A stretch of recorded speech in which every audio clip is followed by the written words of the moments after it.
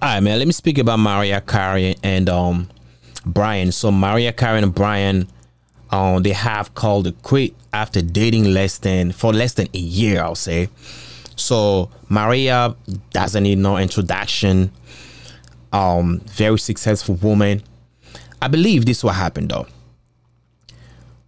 One thing that I know about successful women, they have bad habits.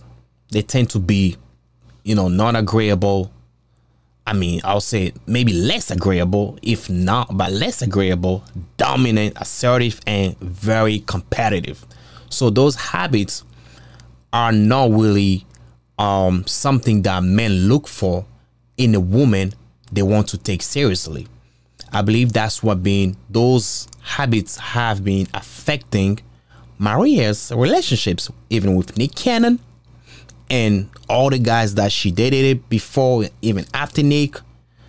So tomorrow, I mean, those are um the guy that she just broke up with, Bryan. Bryan was 40 years old. So you can't yo, let, let me just let's just think, let's just be logical, right? You can tell that at this point, at 54, Mariah is having a hard time to find a man who's older than her because her if she has to date a guy that guy has to be at least at least on her level though. So she's having hard time to find a man on her level. Financially that's what i'm talking about. Financially right?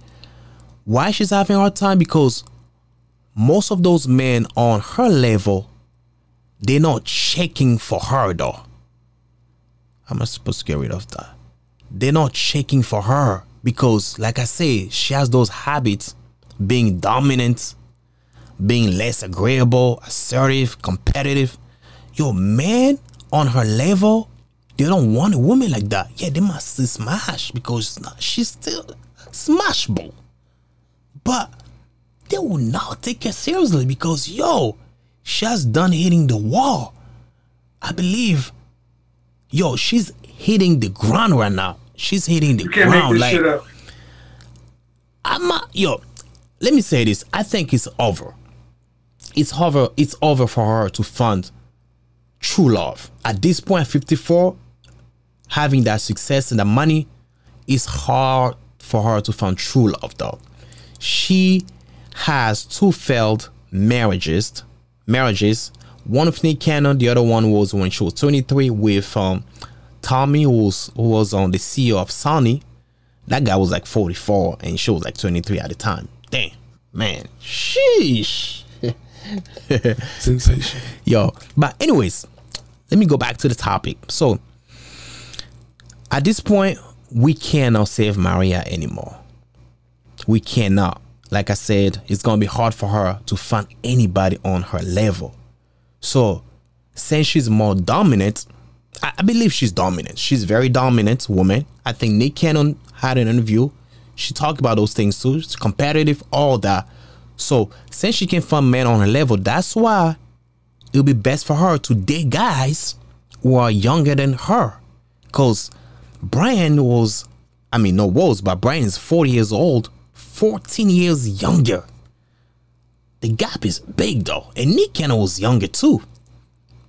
So yo, if you're a woman watching, you want to be successful, that's fine, but just don't cultivate those habits because it's not going to help you in the dating market.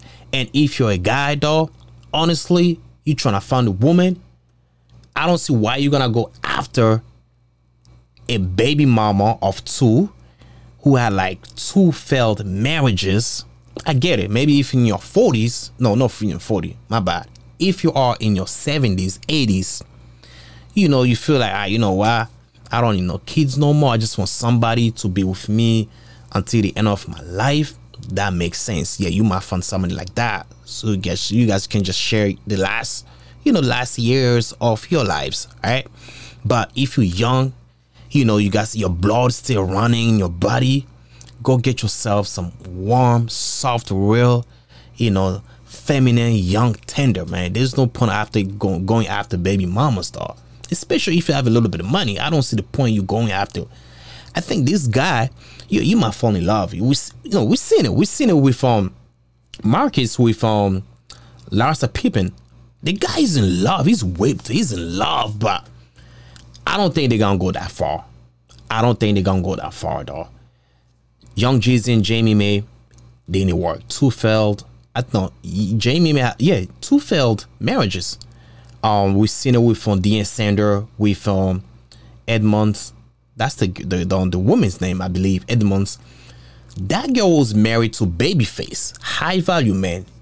After Babyface, um, no, I think Eddie Murphy came first, or one of one of the other, right?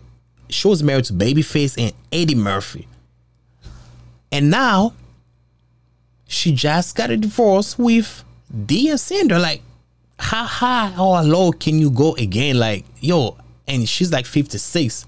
Mariah's like 54. Like, yo, this is mind blowing. Like, I don't know how this woman, because I'm an African, man. I was born, raised in Africa. So I barely see women in their 50 getting divorced though. Like, for me, it's like, shit, this is new.